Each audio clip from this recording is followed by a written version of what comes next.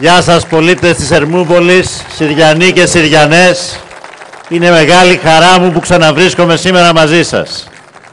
Παρά το γεγονός ότι ακόμα κάνει κρύο, εμείς τολμήσαμε μια ανοιχτή συγκέντρωση και πετύχαμε, διότι η παρουσία σας εδώ μας ζεσταίνει, μας δίνει αισιοδοξία, μας δίνει δύναμη, μας δίνει ελπίδα ότι θα έρθει σύντομα η μεγάλη ανατροπή για το λαό και τον τόπο. Φίλες και φίλοι, ζείτε σε μια πραγματικά πανέμορφη γωνιά της Ελλάδας. Θα μπορούσα να πω ότι πολλοί είναι αυτοί που δικαίως σας ζηλεύουν, διότι σας συντροφεύει η ανάσα του Αιγαίου και εγώ ο Βουνίσιος κάτοικος πρωτεύουσα σας ζηλεύω λίγο.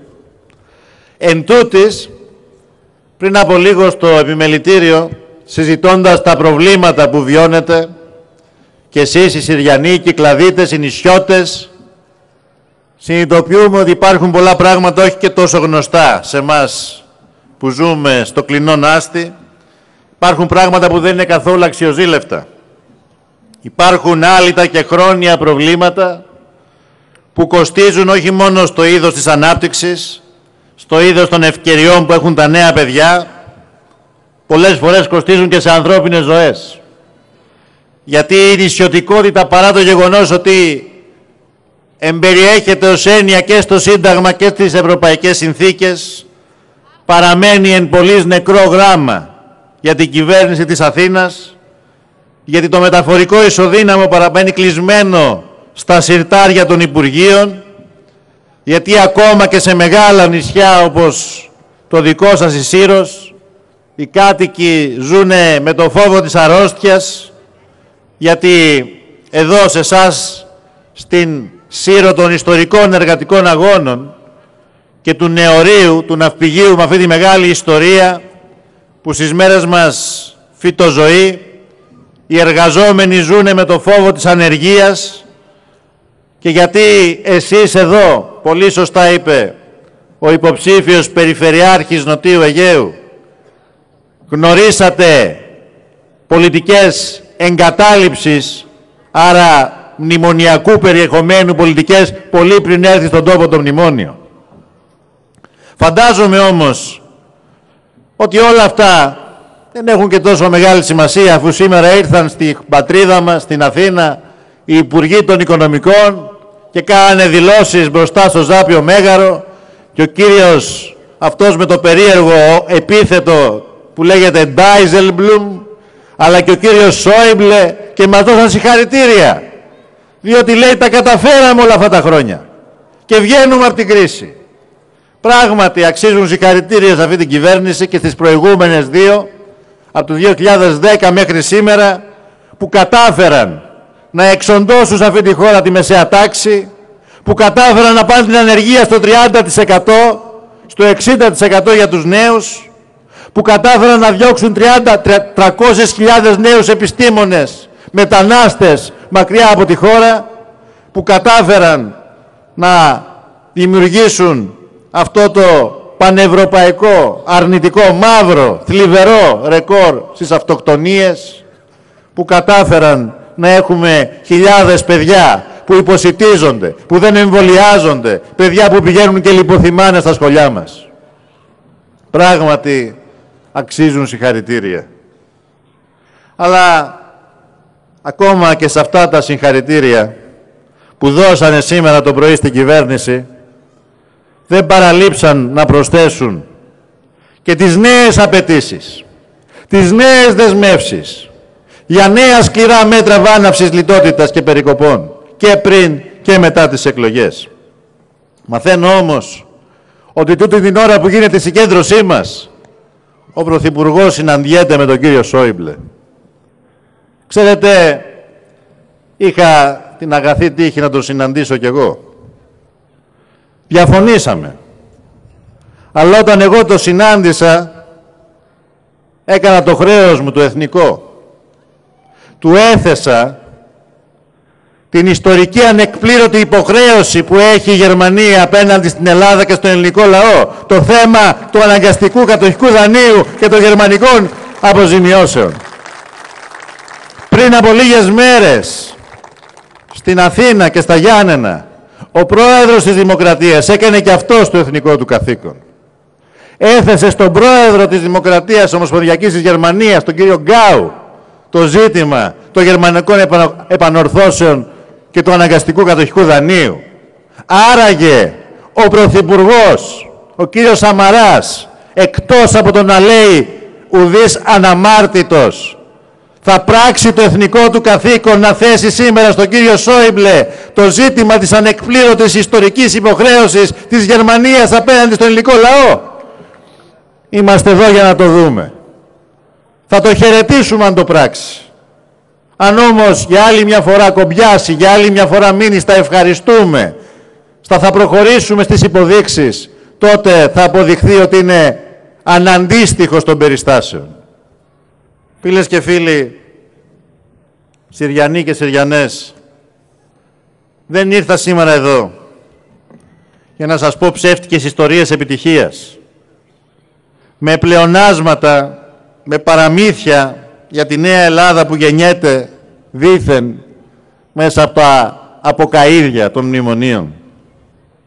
Δεν ήρθα για να μοιράσω υποσχέσεις και επιταγές εξαγοράς συνειδήσεων, εξαγοράς ανθρωπιάς, εξαγοράς αξιοπρέπειας, όπως επιχειρεί η κυβέρνηση μετά την άθλια συνθηκολόγησή της με την Τρόικα.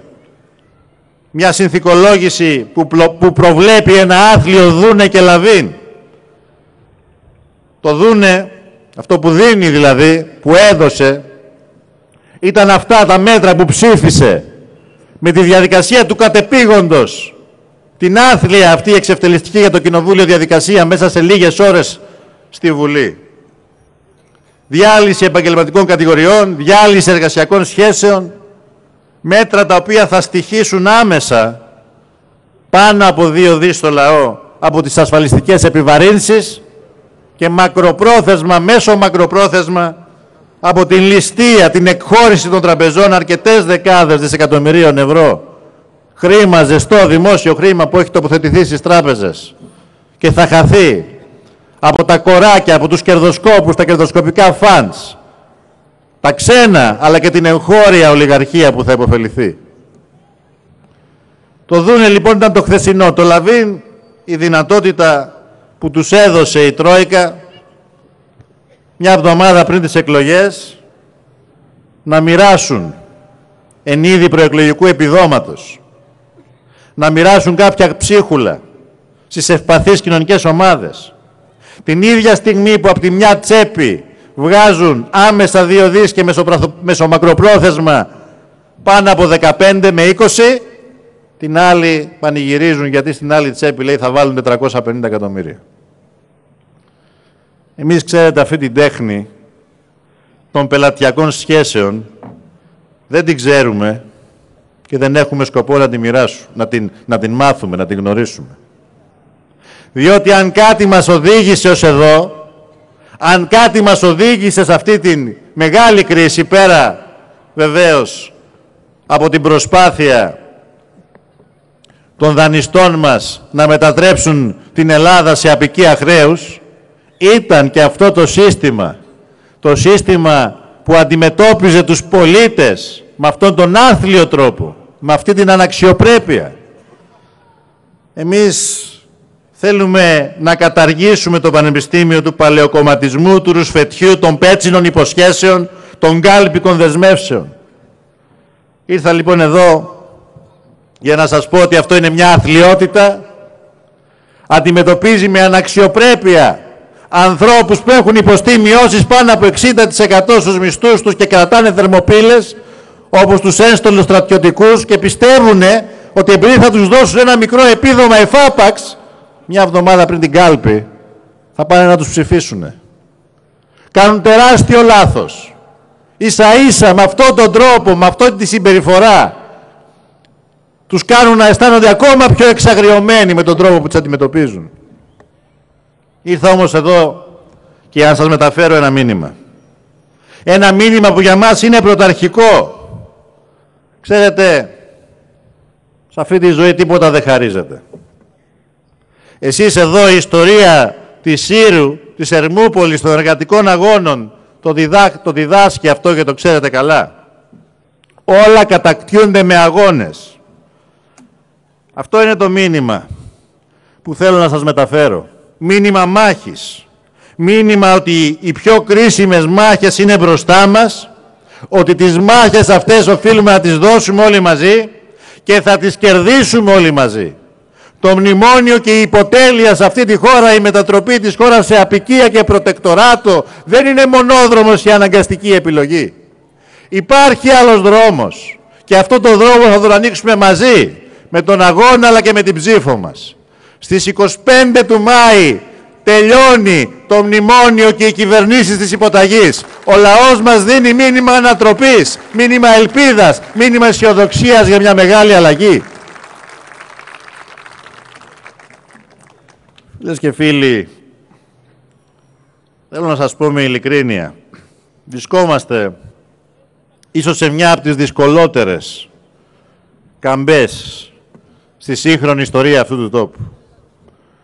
Οι κυβερνήσεις των τελευταίων χρόνων δυστυχώς έχουν παραδώσει τα κλειδιά της οικονομίας και της χώρας στους δανειστές.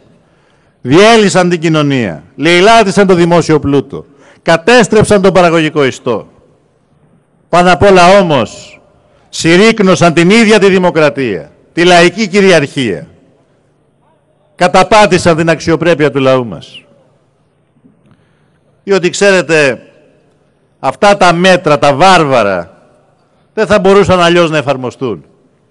Σε συνθήκες ομαλής λειτουργίας των θεσμών και της δημοκρατίας δεν θα μπορούσαν να εφαρμοστούν. Με αυτά τα δεδομένα η πολιτική ζωή του τόπου βιώνει πρωτόγνωρες καταστάσεις. Δεν βρισκόμαστε σε κατάσταση ομαλότητας που επιτρέπει στην κοινωνία να εκφράζεται δημοκρατικά, να δίνει το παρόν στις αποφάσεις που την αφορούν. Βρισκόμαστε δυστυχώς όπως απέδειξαν και όσα έγιναν τις τελευταίες δύο μέρες, τα τελευταία 24 ώρα στη Βουλή, σε μια κατάσταση μνημονιακής ανομαλίας. Πώς παίρνονται αλήθεια αυτές οι αποφάσεις που κλέβουν το ψωμί από το τραπέζι εκατομμύρια ανθρώπων; Πώς ψηφίζονται αυτοί οι νόμοι που αλέθουν στα δόντια τους την οικονομία και την κοινωνία; Τι πολιτικό καθεστώς οικοδομούν πάνω στην ερυπωμένη δημοκρατία για να υπηρετούν υπάκουα τα συμφέροντα των δανειστών και της μνημονιακής ολιγαρχίας; Ότι ζούμε σε αυτόν τον τόπο τα τελευταία τέσσερα χρόνια, το ξέρετε εσείς καλύτερα από μένα.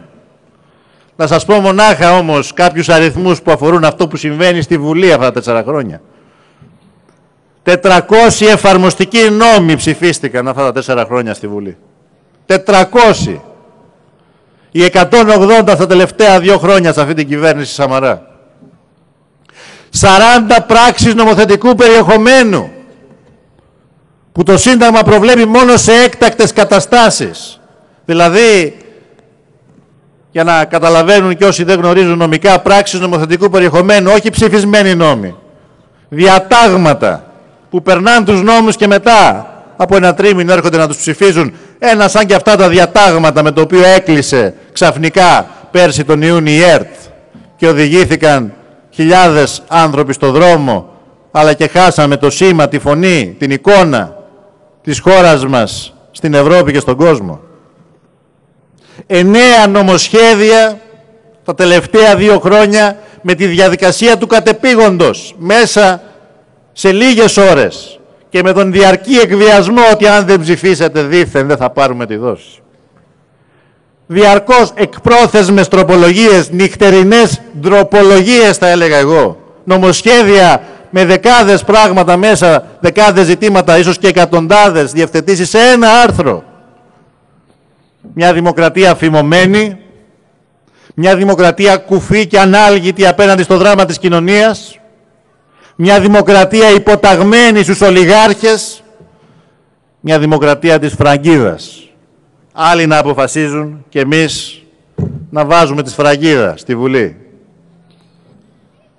Φίλες και φίλοι, δεν υπερβάλλω. Αυτή είναι η κατάσταση σήμερα και θα γίνεται ολοένα και χειρότερα δεν τους ανατρέψουμε. Είδατε τι έγινε αυτές τις μέρες στη Βουλή. Ένα νομοσχέδιο 800 σελίδων που χαρίζει τις τράπεζες που πλήρωσε ο Έλληνας φορολογούμενος με δεκάδες δισεκατομμύρια χρέος θα το πληρώνουν τα παιδιά μας. Στους ολιγάρχες, στα ξένα κερδοσκοπικά φαντς και στους Έλληνες ολιγάρχες, μόνο για τη Eurobank να σας πω. 11,5 δισεκατομμύρια έχει βάλει το ελληνικό δημόσιο για την ανακεφαλοποίησή της και για την κάλυψη του χρηματοδοτικού κενού. Τώρα δίνεται η δυνατότητα σε ορισμένους αετονίχιδες με 2,2-2,5 δις να έχουν το 51% και το ελληνικό δημόσιο με τα 11,5 δις το 49%.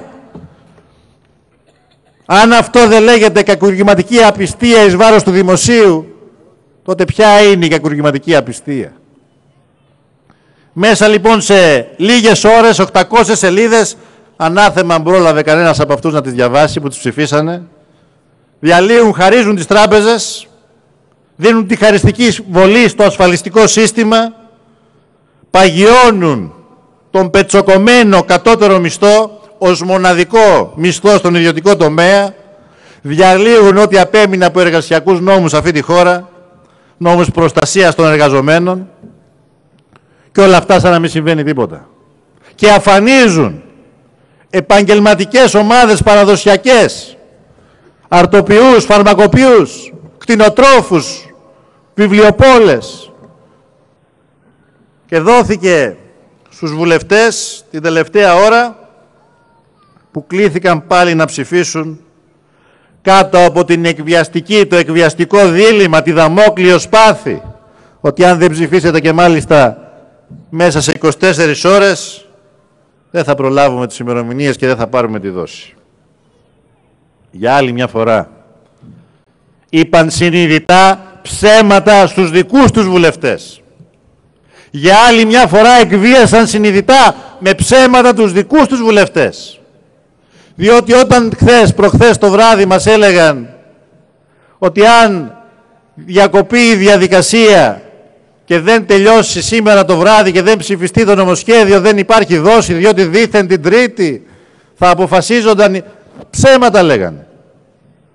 Η περιβόητη, η περίφημη δόση που θα κρινόταν στις τρεις αυτές μέρες της συζήτησης αποδείχθηκε ότι τέλος Απριλίου μέχρι τέλος Ιουνίου θα δοθεί. Και έτσι μετέτρεψαν την ίδια την κοινοβουλευτική διαδικασία σε διαδικασία της δόσης. Ψεκάστε, σκουπίστε, τελειώσατε. Εμείς απαντήσαμε στον αυταρχισμό τους. Απαντήσαμε στον εκβιασμό και στο ψέμα τους. Με όσα όπλα είχαμε κοινοβουλευτικά, με όσες δυνατότητες μας έδινε το Σύνταγμα και μας δίνει το Σύνταγμα και ο κανονισμός της Βουλής. Και καταθέσαμε πρόταση δυσπιστίας στον Υπουργό των Οικονομικών, στον κύριο Στουρνάρα, στον ηθικό και φυσικό αυτούργο αυτού του νομοσχεδίου, αλλά και συνολικά της πολιτικής που καταστρέφει τη χώρα. Και αυτούργο επίσης των σκανδάλων παράδοσης του δημόσιου πλούτου και της δημόσιας περιουσίας στη λεμαργία των μεγάλων συμφερόντων. Και αυτούργο ακόμα χειρότερα της δυστυχίας εκατομμύριων συμπολιτών μας. Γιατί το κάναμε αυτό; Πρώτα απ' όλα για να τους υποχρεώσουμε να συζητήσουν την ουσία του νομοσχεδίου σε μια διαδικασία τριήμερη που θα έδινε τη δυνατότητα στον ελληνικό λαό να ενημερωθεί πλήρως πριν ψηφίσουν, πριν διαπράξουν το έγκλημα για όσα εμπεριείχε αυτό το πολυνομοσχέδιο. Να συζητηθούν οι διατάξεις που καταστρέφουν ζωές, διαλύουν οικογένειες, σαρώνουν δικαιώματα, ανοίγουν πόρτες για το μεγάλο ξένο και τόπιο κεφάλαιο να συζητηθούν οι διατάξεις που δίνουν τα κλειδιά των τραπεζών σε όσους τις χρεοκόπησαν και μετατρέπουν την κοινωνική ασφάλιση σε φιλανθρωπία. Βεβαίως, το τι ακολούθησε το είδατε. Εξευτελίστηκε η κοινοβουλευτική διαδικασία. Η Βουλή μετατράπηκε σε εργαλειοθήκη των δανειστών που επιβάλλει ποινές και θυσίες στην κοινωνία με συνοπτικές διαδικασίες στρατοδικίου, που χαρίζει δισεκατομμύρια με διαδικασίες μαφίας, με τους βουλευτές να ψηφίζουν χωρίς να συζητάνε και να συζητάνε χωρίς να γνωρίζουν. Ασκήσαμε λοιπόν το συνταγματικό μας δικαίωμα σύμφωνα με τον κανονισμό της Βουλής. Και η κυβέρνηση τι έκανε, το είδατε όλοι. Στην αρχή ευνηδιασμένοι, μην έχοντας επιχειρήματα να αντικρούσουν το δικαίωμα που μας παρέχει το Σύνταγμα και ο κανονισμός, δέχτηκαν το αίτημά μας. Διακόψανε, όπως γίνεται πάντα, για να ξεκινήσει η διαδικασία συζήτησης για τη μορφή, αλλά μόλις το μάθανε ο κ. Βενιζέλος και ο Σαμαράς, είπανε, δεν βαριέσαι, τόσα πραξικοπήματα έχουμε κάνει με το μνημόνιο σε αυτή τη Βουλή, άλλο ένα, δεν χάθηκε και ο κόσμος. Και έτσι, αφού το συζήτησαν, ο κρυπτόμενος πρωθυπουργός που ως αυτοκράτορας δεν εμφανίστηκε στη Βουλή, ήταν στο Μέγαρο Μαξίμου, με τον ανταυτού πρωθυπουργεύοντα τον κύριο Βενιζέλο, ανετέθη στον κύριο Βενιζέλο η βρώμικη δουλειά. Με νομικίστικες ανοησίες και εντελώς έολες επιστημονικά αλλά και ανήθικες δημοκρατικά δικαιολογίες απαγόρευσαν στη Βουλή να συζητήσει την πρόταση μορφής που καταθέσαμε. Και το έκαναν αυτό διότι γνώριζαν πέραν των άλλων ότι δεν υπήρχε περίπτωση ο Υπουργός των Οικονομικών να λάβει ψήφο εμπιστοσύνης ακόμα και από τους βουλευτές της συμπολίτευσης. Εδώ κάτω από τη δαμόκλειο σπάθη ότι θα χαθεί η δόση κάτω από τον εκβιασμό και την κομματική πειθαρχία και το πολυνομοσχέδιο πήραν 151. Σε ψηφοφορία που θα αφορούσε τον κύριο Στουρνάρα, ούτε 141 δεν θα παίρνανε. Και το ξέρανε αυτό. Και θα ήταν μια κοινοβουλευτική συντριβή για την κυβέρνηση. Και προσπάθησαν, παρακάμπτοντας το Σύνταγμα, εκτρέποντας τη διαδικασία να το αποφύγουν. Και ανέθεσαν και στον πρόεδρο του σώματος που αντί να προστατεύσει το κύριο της Βουλής συμπεριφέρθηκε ως λοχίας που εφαρμόζει τις εντολές των ανωτέρων του, του ανέθεσαν να προχωρήσει σε αυτό το κοινοβουλευτικό πραξικόπημα. Φίλες και φίλοι, δεν είναι όμως μόνο αυτό.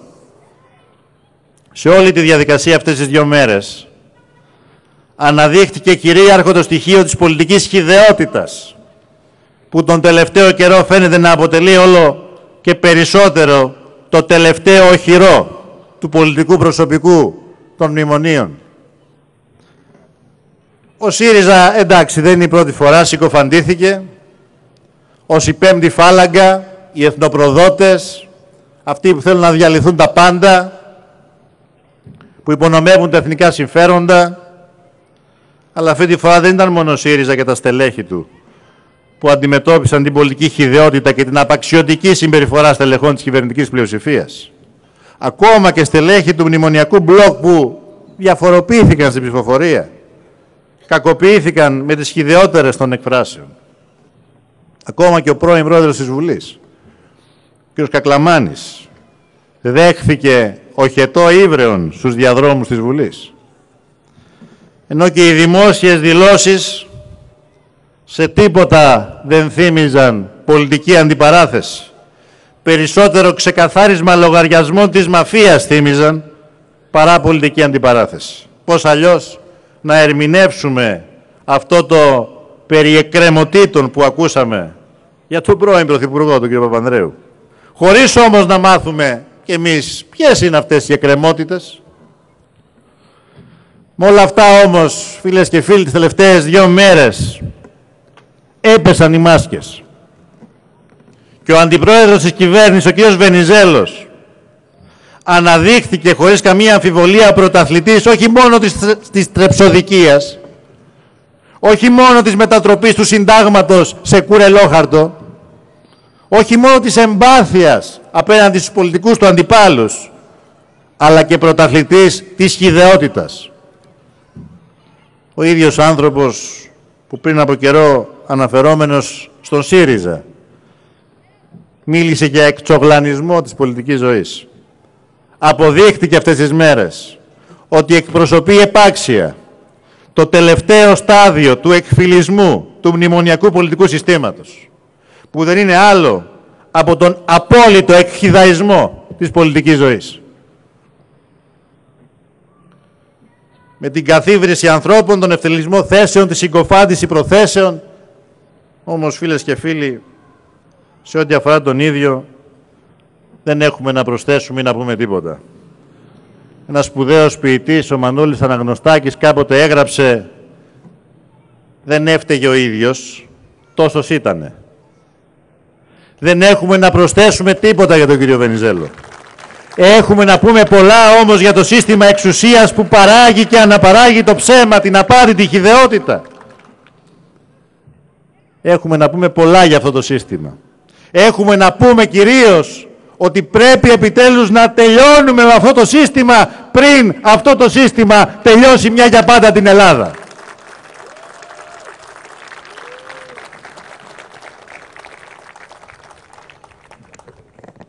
Φίλες και φίλοι,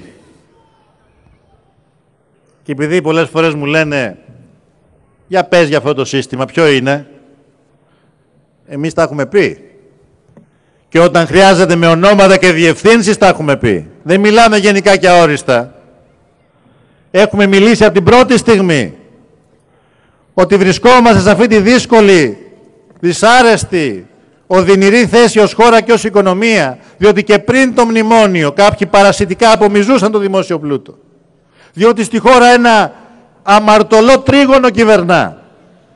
Το πολιτικό σύστημα της διαπλοκής, που στη μια μεριά έχει το υποκατάρρευση πολιτικό σύστημα, το οποίο όμως δεν καταραίει γιατί στηρίζεται από χρεοκοπημένα μέσα ενημέρωσης, που τα ελέγχουν επιχειρηματίες συγκεκριμένοι, πολλές φορές και προμηθευτές του δημοσίου, αλλά παρότι είναι χρεοκοπημένα αυτά τα μέσα ενημέρωσης, δανειοδοτούνται αδρά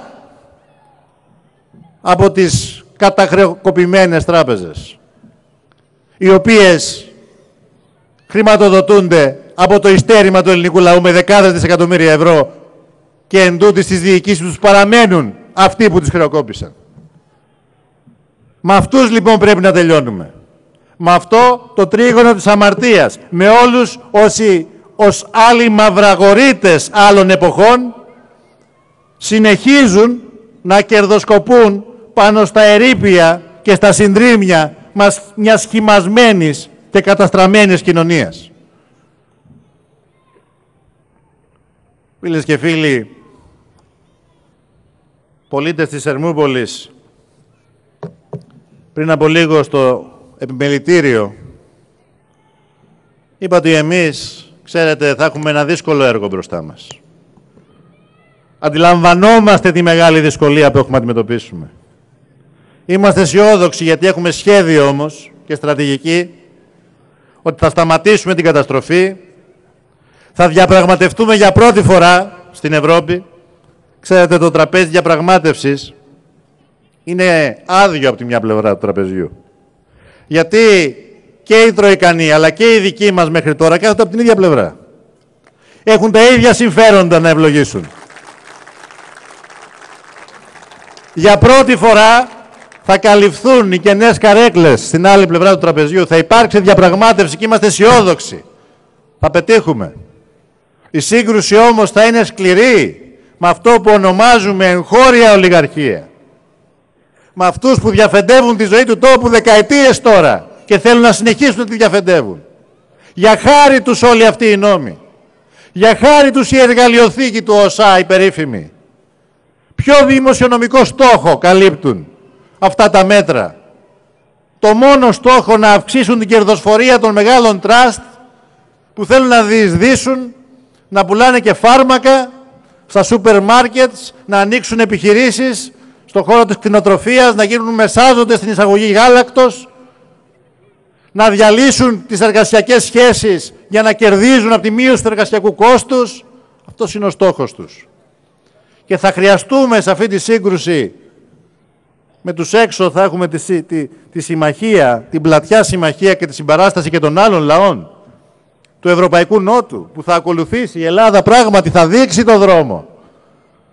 Για την εσωτερική σύγκρουση όμως θα χρειαστούμε εσάς. Θα χρειαστούμε τον ελληνικό λαό να στηρίζει μια κυβέρνηση κοινωνικής σωτηρίας. Πιο πολύ θα σας χρειαστούμε εσάς μετά τις εκλογές, στους δρόμους, να διεκδικείτε, να αγωνίζεστε παρά πριν τις εκλογές. Μόνο έτσι θα καταφέρουμε να νικήσουμε και είμαι σίγουρος ότι θα νικήσουμε. Μπροστά μας όμως έχουμε μια κρίσιμη εκλογική αναμέτρηση, ίσως την πιο κρίσιμη μετά τη μεταπολίτευση. Μια αναμέτρηση η οποία θα κρίνει το σήμερα και το αύριο της χώρας. Οι κάλπες λένε θα είναι τρεις. Κάποιοι σκέφτονται μη βάλουν και τέταρτη. Είδου η Ρόδος, είδου και το πίδημα τους λέμε. Ορίστε. Βάλτε όσες κάλπες θέλετε. Στις 25 ψηφίζουμε, στις 26 φεύγετε, τελειώνετε, αλλάζει σελίδα αυτός ο τόπος. Αλλά πρέπει να το συνειδητοποιήσουμε. Πρέπει να συνειδητοποιήσουμε ότι σε αυτή την εκλογική αναμέτρηση δεν ψηφίζουμε μόνο για δημάρχους, δεν ψηφίζουμε μόνο για περιφερειάρχες, δεν ψηφίζουμε μόνο για κάποιους ευρωβουλευτές. Ψηφίζουμε για τις ζωές μας. Ψηφίζουμε για το σήμερα και το αύριο αυτού του τόπου. Ψηφίζουμε για την πατρίδα μας. Ψηφίζουμε για μια άλλη Ευρώπη. Και βεβαίως το δίλημα που θα έχουμε μπροστά μας, το δίλημα είναι ένα. Η αντίσταση, η υποταγή. Πρέπει να διαλέξουμε. Και ξέρετε, το κύριο, μην βλέπετε τι λένε και τι, το κύριο συνέστημα που προσπαθούν να δημιουργήσουν στην κοινωνία, στον κόσμο, στους πολίτες, είναι ότι εντάξει και εμείς αυτά δεν τα θέλουμε, είμαστε αναγκασμένοι να τα κάνουμε, αλλά εάν έρθει ο ΣΥΡΙΖΑ και τελειώσει το μνημόνιο, τα πράγματα θα γίνουν χειρότερα, αυτό λένε. Προσέξτε, αναλογιστείτε, αναλογιστείτε, σκεφτείτε.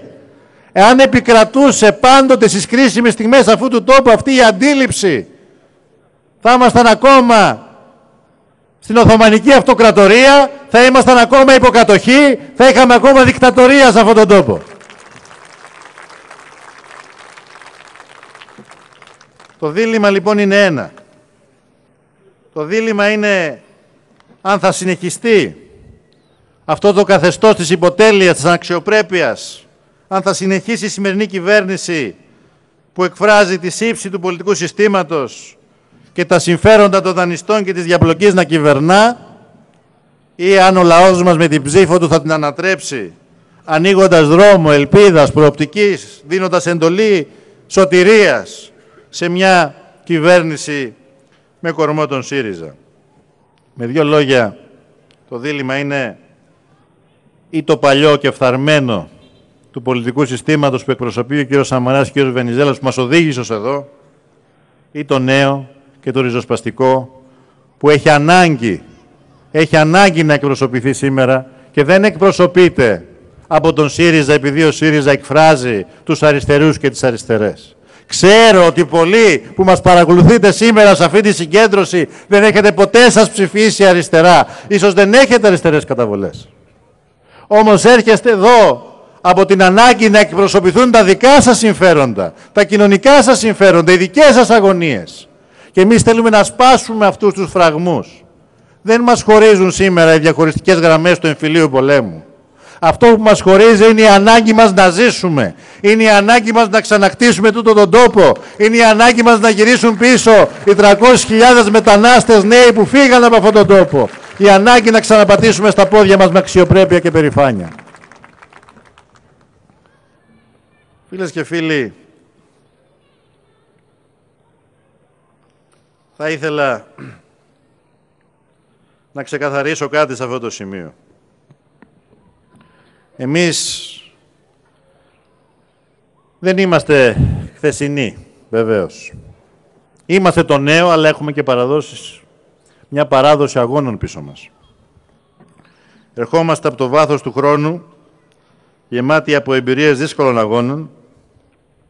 Το βιογραφικό της παράταξής μας είναι γεμάτο σελίδες αυτοθυσίας, αφοσίωσης στα συμφέροντα του λαού, ανιδιοτέλειας.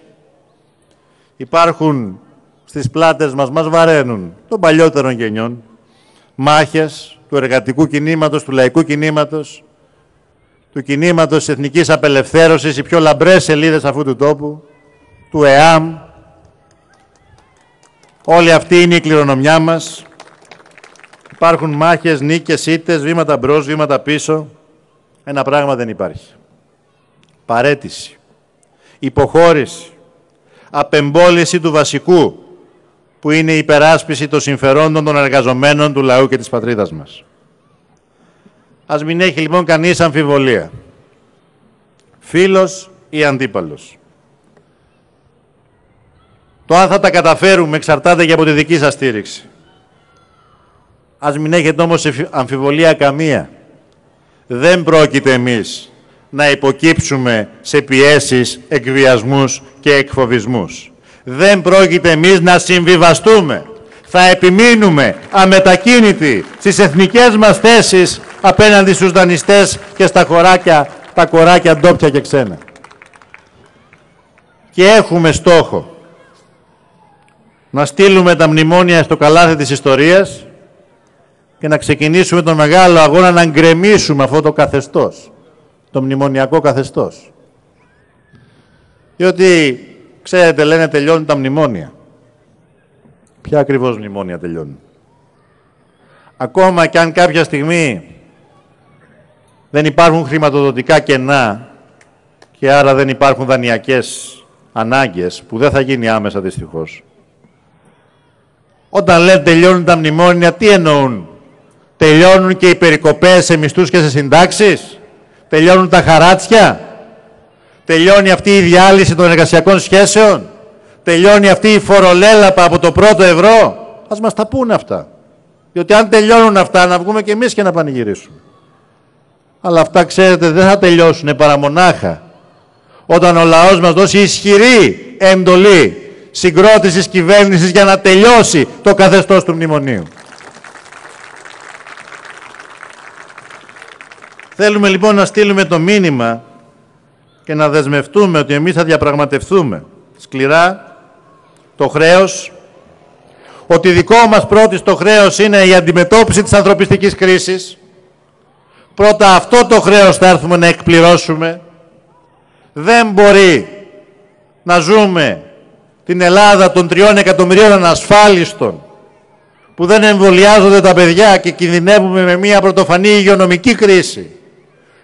Την Σύρο που δεν έχει τη δυνατότητα μονάδας αυξημένης φροντίδας ή ΕΚΑΒ προκειμένου να αντιμετωπίζονται οι τραυματίες το καλοκαίρι.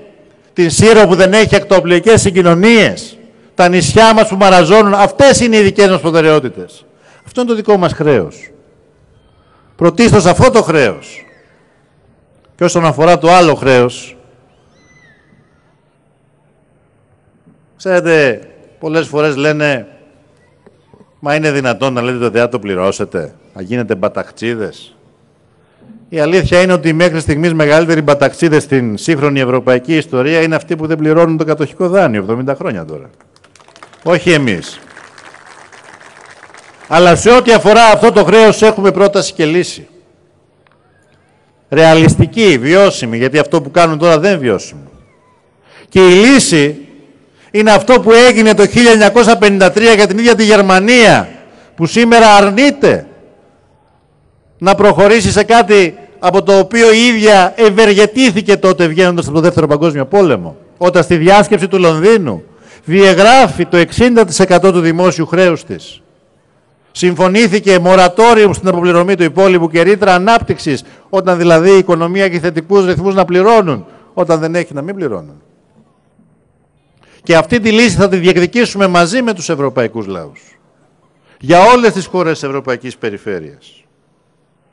Θα διαπραγματευτούμε σκληρά το χρέος, θα αντιμετωπίσουμε την ανθρωπιστική κρίση, θα διευρύνουμε τη δημοκρατία μέχρι το σημείο που ο πολίτης θα αισθάνεται ότι δεν παίρνονται αποφάσεις χωρίς αυτόν. Θα τσακίσουμε δηλαδή αυτό το πολιτικό σύστημα της διαφθοράς και της αποξένωσης του πολίτη. Θα εφαρμόσουμε ένα πρόγραμμα μεταρρυθμίσεων στην πολιτική, στην οικονομία και στην κοινωνία με τον άνθρωπο στο επίκεντρο.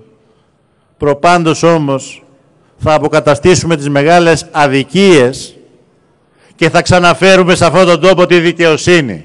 Διότι γνωρίζουμε από την αρχαιολική τραγωδία ότι όταν διαπράτεται ύβρις έρχεται η νέμεσης, έρχεται η τιμωρία. Και αυτό δεν είναι απειλή. Αυτό είναι δικαίωμα για τους Έλληνες πολίτες. Όσοι ζημίωσαν το ελληνικό δημόσιο συνειδητά, όσοι με πράξεις και παραλήψεις μας οδήγησαν σε αυτή την καταστροφή, πρέπει να οδηγηθούν στην κρίση της ελληνικής δικαιοσύνης, διότι αυτό απαιτεί η δημοκρατία, αυτό θα πει πραγματική δικαιοσύνη και αυτό ζητάει ο λαός μας. Σας διαβεβαιώνω φίλες και φίλοι, ότι και μπορούμε και θέλουμε και ξέρουμε. Και για αυτή ακριβώς τη θέληση, τη βούληση και το τσαγανό μας να πάρουμε τα πράγματα στα χέρια μας και με τη βοήθειά σας να αλλάξουμε τα πράγματα. Γι' αυτό ακριβώς είμαστε οι δύναμοι που φοβούνται περισσότερο από κάθε άλλη. Η δύναμη που θα δώσει την αποδοκιμασία και στην καταδίκη όχι μόνο το χαρακτήρα της τιμωρίας, αλλά και το χαρακτήρα μιας νέας αρχής. Φίλες και φίλοι, εγώ έχω ζεσταθεί εδώ, μπορώ να μιλάω ώρες, αλλά εσείς ξέρω ότι κρυώνετε. Θέλω να κλείσω αυτή την ομιλία και αυτή τη συνάντησή μας. Είμαι βέβαιος ότι δώσουμε αυτή τη μάχη και θα κερδίσουμε. Είμαι βέβαιος ότι θα είναι δύσκολη αυτή η μάχη. Αλλά έρχονται μπροστά μας μέρες ανάτασης. Η μέρα εκείνη δεν θα αργήσει που λέγει ο ποιητής. Θα ξαναπάρουμε τις τύχες στα χέρια μας. Αυτό το χρεοκοπημένο πολιτικό προσωπικό το είδατε χθες. Έβγαλε την ταμπέλα προσεχώς κατεδάφιση. Είναι ένα πολυτραυματισμένο πολιτικό προσωπικό. Η μόνη του στήριξη είναι τα σωληνάκια που τους παρέχει το σύστημα των Βρυξελών για να παραμένουν στη ζωή. Όμως η πραγματική ζωή, αυτή που ζουν χιλιάδες εκατομμύρια πολίτες, είναι αυτή της απόγνωσης και της δυστυχίας. Μπορούμε να την αλλάξουμε αν πιστέψουμε ότι μπορούμε να την αλλάξουμε. Μπορούμε να την αλλάξουμε αν πιστέψουμε στο δίκαιο του λαού μας και στην αξία διεκδίκησής του. Και εγώ είμαι βέβαιος ότι αυτή τη μάχη και θα τη δώσουμε και θα την κερδίσουμε. Σε αυτές τις εκλογές, επαναλαμβάνω, ψηφίζουμε για τις ζωές μας. Ψηφίζουμε για την Ελλάδα, ψηφίζουμε για μια διαφορετική πορεία προς το μέλλον αισιοδοξίας για τα νέα παιδιά, για τους ηλικιωμένους που έχουν χάσει την περηφάνεια τους, για όλους τους ανθρώπους της διπλανής πόρτας, τους αδύναμους που έχουν πληγεί περισσότερο από αυτή την κρίση. Με δύο λόγια, ψηφίζουμε με στόχο να γυρίσουμε σελίδα. Στις 25 Μαΐου τα πράγματα θα αλλάξουν σε αυτόν τον τόπο και με τη δική σας στήριξη. Στις 26 τίποτα δεν θα είναι το ίδιο. Τίποτα δεν θα είναι όπως πριν το εκλογικό αποτέλεσμα θα είναι το τέλος τους, αλλά και συνάμα μια νέα αρχή για την πατρίδα μας. Δεν μπορούμε άλλο να περιμένουμε. Καμία ανοχή, όχι άλλη υπομονή. Ψηφίζουμε για να φύγουν, ψηφίζουμε και φεύγουν. Ψηφίζουμε και έρχεται στο προσκήνιο ο λαός μας για να κτίσει μαζί με το ΣΥΡΙΖΑ ένα καλύτερο αύριο για τον τόπο και τον λαό. Το αξίζουμε φίλες και φίλοι και την άλλη φορά που θα ξανάρθω εδώ στην Ερμούπολη να ξέρετε ότι θα είμαστε πιο αισιόδοξοι. Θα κοιτάζουμε το μέλλον με μεγαλύτερη αισιοδοξία. Σας ευχαριστούμε για την παρουσία μας, για την παρουσία σας. Σας ευχαριστούμε, σας ευχαριστούμε και να ξέρετε αυτή η παρουσία για μας είναι η καλύτερη των δημοσκοπήσεων. Μην τους πιστεύετε θα πάμε σε μια μεγάλη αλλαγή, σε μια μεγάλη κοινωνική ανατροπή. Είναι μπροστά μας. Γεια σας, θα νικήσουμε. Γεια σας.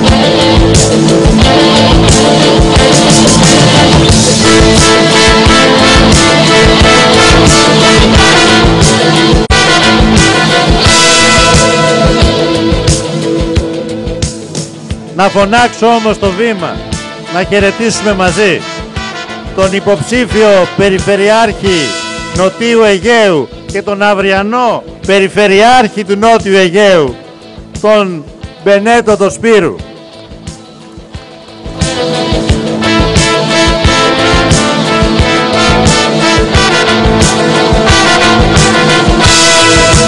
Την υποψήφια Αντιπεριφερειάρχη Κυκλάδων την Άννα τη Μαυρουδή.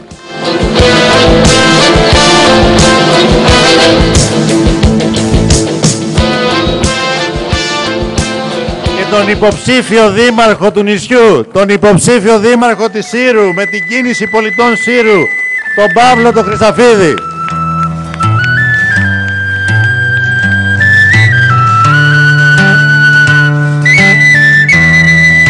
Τρεις κάλπες, μία μόνο επιλογή. Να νικήσουμε, να γυρίσουμε σελίδα. Γεια σας. Καλούς αγώνες. una mattina.